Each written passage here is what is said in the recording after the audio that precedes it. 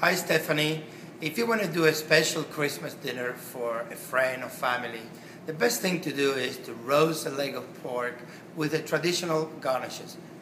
Steamed yuca, black beans, rice. Sometimes uh, a, a congrí would be a good thing to do. Sometimes people do a, a turkey that is stuffed also with moros cristianos, which is a mixture of rice and beans.